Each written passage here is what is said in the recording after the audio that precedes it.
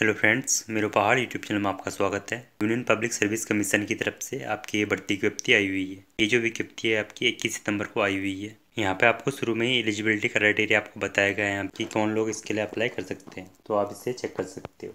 Apply आप इसको online कर पाओगे। ऑनलाइन अप्लाई लिंक आपको डिस्क्रिप्शन बॉक्स से मिल जाएगा। साथ में इस पीडीएफ का लिंक भी आपको डिस्क्रिप्शन बॉक्स से मिल जाएगा। वहाँ से आप इसे डाउनलोड करके इसकी जानकारी ले सकते हो।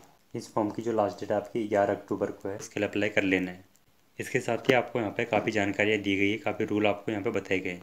इसे आपको अच्छे से चेक कर लेना अपना एग्ज़ाम देने से पहले। एग्जामिनेशन सेंटर आपको यहाँ पे बताए गए हैं। आपके स्टेट के जो भी आपके एग्ज़ाम सेंटर हैं, आपके पास में, वो आपको यहाँ से चूज़ कर लेना है। वैकेंसी डिटेल आपको इसमें बताई गई है। आपके इसमें पहले जो वैकेंसी है, आपकी जियो लिस्ट की ग्रुप ए में दो सौ सोलह वैकेंसी आपकी इसमें आई हुई है। अगली जो वैकेंसी आपकी जियो वेजिस्ट्री ग्रुप ए में इक्कीस वैकेंसी आपकी इसमें आई हुई है। और केमिस्ट की आपकी ग्रुप ए में उन्नीस वैकेंसी आपकी इसमें भी आई हुई है।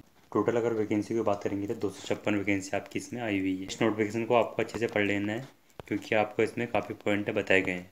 इस फॉर्म के लिए अप्लाई केवल भारत के नागरिक कर सकते हैं और साथ में नेपाल और भूटान के जो आपके भारत के नागरिक बन चुके हैं वो भी इस फॉर्म के लिए अप्लाई कर पाएँगे। एज लिमिट की बात करेंगे तो बत्तीस साल तक के अभ्यर्थी इस फॉर्म के लिए अप्लाई कर पाएँगे। आपको इस पीडीएफ में काफ़ी पॉइंट बताए गए हैं। इसे आपको अच्छे से रीड कर लेना है। वीडियो में आपको हर पॉइंट बताना इसमें पॉसिबल नहीं है, इसलिए आपको इसे खुद चेक कर लेना है। एप्लीकेशन फ़ीस की बात करेंगे तो आपका इसमें दो सौ फ़ीस आपकी इसमें लगने वाली है। इसके साथ ही आपकी S C, S T, P, H और फीमेल्स के लिए आपकी इसमें कोई फ़ीस नहीं लगने वाली है। इसी तरीके की नई नई जॉबों की अपडेट पाने के लिए, नई जानकारियों के लिए आप इस चैनल को चेक कर सकते हो और साथ में ही इंस्टाग्राम में भी चैनल को फॉलो कर सकते हो। Thank you.